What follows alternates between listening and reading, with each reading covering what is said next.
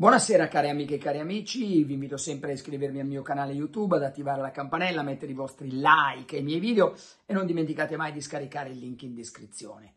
Edizione straordinaria, partiamo subito, partiamo subito con il gol bellissimo di Camarda nell'Under 17, un gol che secondo coloro che l'hanno visto ricorda un po' il gol di, di Ibrahimovic contro il Lecce, spalle rivolte alla porta, distanza piuttosto importante dal, dalla linea, dal, dal, dalla posizione del portiere, il tiro, diciamo, girandosi senza guardare, la palla all'incrocio dei pali e poi l'esultanza, mi hanno detto, di Camarda come Ibrahimovic proprio a Lecce con le braccia alzate.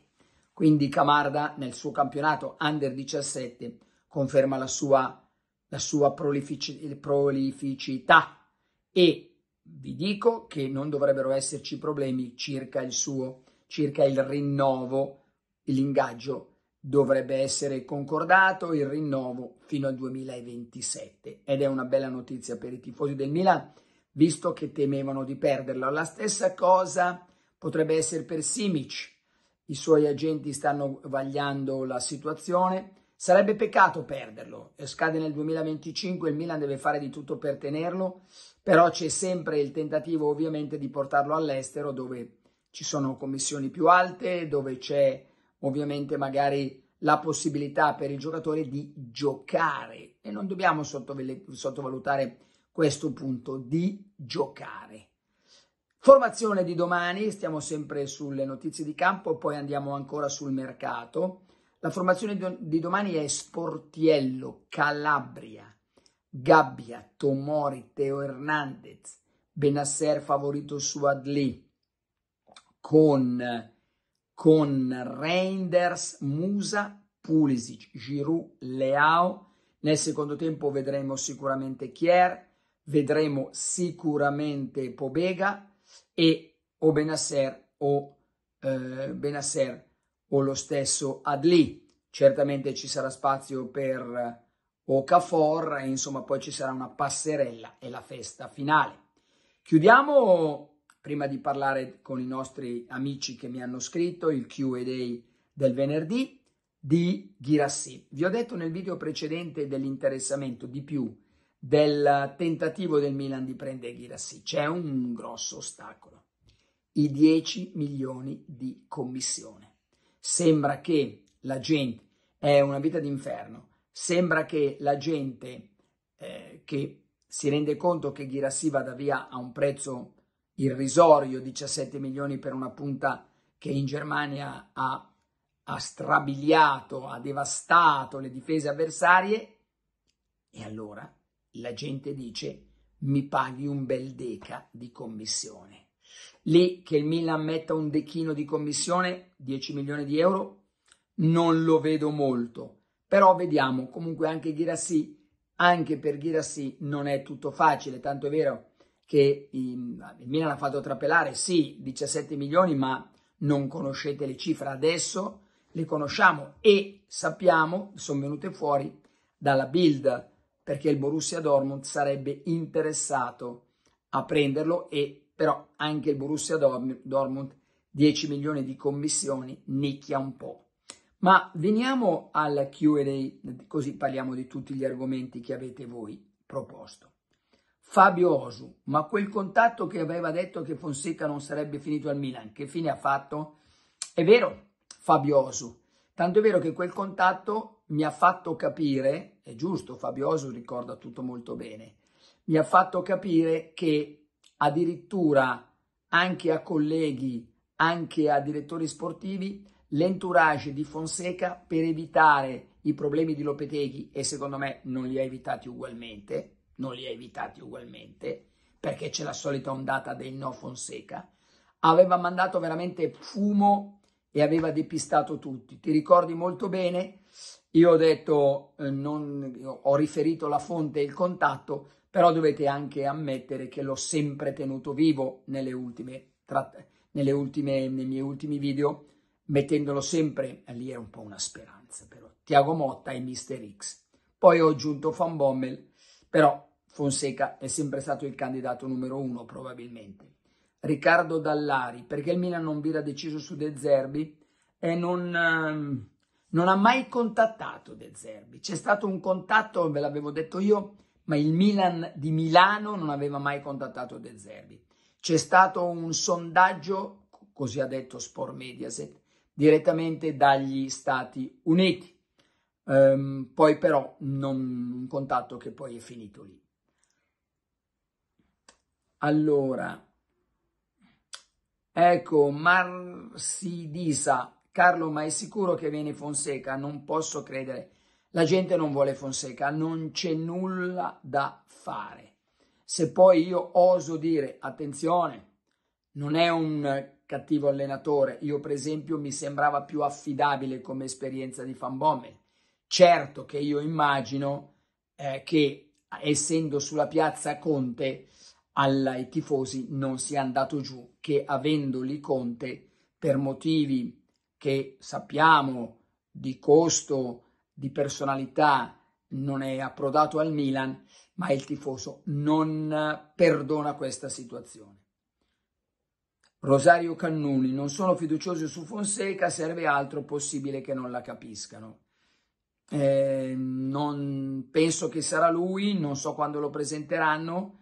Eh, an, loro ritengono che incominciando il campionato a agosto e eh, avendo la rosa all'inizio della, della preparazione in tutti quanti all'inizio di agosto, quindi 20 giorni prima, eh, non volevano avventurarsi, anche il costo importante 3 milioni e mezzo, non volevano avventurarsi in altre situazioni.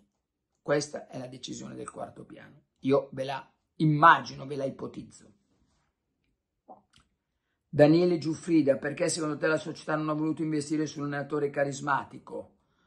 Cosa intendi per allenatore carismatico? Conte, ok, però è anche costoso. Carismatico, i Tuchel, sembrava ci fosse un contatto. Ehm, la, adesso, oltretutto, voi chiedete a me, ma se Dio volesse, il cielo volesse, parlasse la eh, società con, qual, con qualcuno parlasse della società, sono domande tranquillamente, tra, che la gente chiede tranquillamente, potrebbe esserci una risposta, così finalmente capiamo. Ma finché non parla, almeno ci rendiamo conto, lo chiedete, lo, chiede, lo chiedete a me, ma io immagino che siano per questi motivi il costo, una certa affidabilità, poi il brillio, io sinceramente questo non so se lo darà Fonseca. Fabrizio Musone, accetteresti l'offerta degli arbitri degli arabi per le AO, eh, cioè 175 milioni della clausola penso che nessuno possa dire no. Antonio Chiantero 83, parlaci un po' del nuovo allenatore e come giocare al Milan con lui. Penso che non cambierà. Lui gioca col 4-3-3 o 4 meglio 4-2-3-1. Eh, usa un attaccante molto mobile, ma riguardo a questo lunedì alle 18.30 con Luca Diddi vedremo come gioca Fonseca. Gilaz 14, preparati ad altri altri 10 anni di nulla, l'unica salvezza se ci comprano gli arabi. Vedremo, eh, 10 anni di nulla, speriamo che ci sia lo stadio, speriamo che arrivino magari altri compratori, eh, ma quello che io mi auguro che speriamo non siano 10 anni di nulla. Maxi Bo Foto, Fonseca al Milan, qui ci vogliono umiliare con questo scarso allenatore? e il tema è sempre lo stesso. Fonseca allenatore, per molti scarso. In questi casi non si tratta che attendere e poi dire, come nel caso di Pioli, eh, anche quando è arrivato Pioli tantiss- c'erano tantissimi Pioli out, poi tutto sommato, anzi senza il tutto sommato, sono stati anni splendidi. Fover Duan, e ora la punta, scommettiamo che prenderanno quello che costa meno.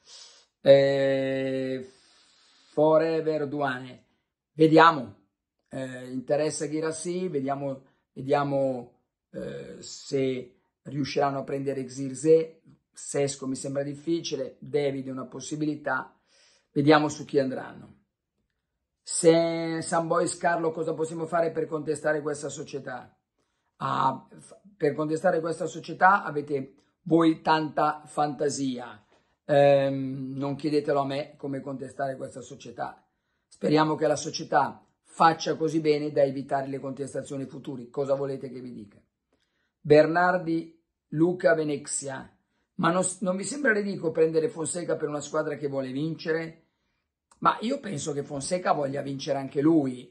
Eh, poi se, se, il nostro amico Bernardi Luca eh, conosce un allenatore che sicuramente ci fa vincere, beh, speriamo che lo, lo, lo, scoprano presto anche i dirigenti del Milan, perché sarebbe l'allenatore ideale. Però non è che c'è un allenatore che sicuramente ci fa vincere. Vediamo come lavora Fonseca, che eh, questa è la situazione. Simone Trovato, perché il Milan non prende uno tra De Zerbi, Sario Conte? Ormai è tardi. Verrà Fonseca, salvo clamorosi colpi di scena, salvo proteste così forti della, del, diciamo della, del popolo rossonero che faccia ancora cambiare idea ai dirigenti.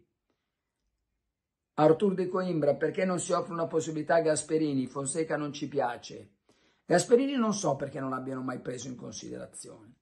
Chi arriva come allenatore Matteo Aprile, ti ho detto, è favorito sicuramente Fonseca, Justin Borg 87, quando l'annuncio?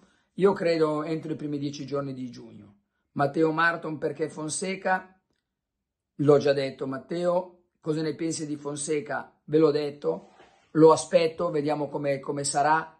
Io non, mi conoscete già, non ho mai detto Pioli out, Fonseca out, questo giocatore out, non è nel mio stile. Poi eh, decidete voi se eh, io debba dire out prima che un allenatore lavori al Milan, eh, lo dirò dopo, non mi è piaciuto, le due partite mi hanno depresso totalmente, quelle con la Roma di, di Pioli, pur stimando Pioli.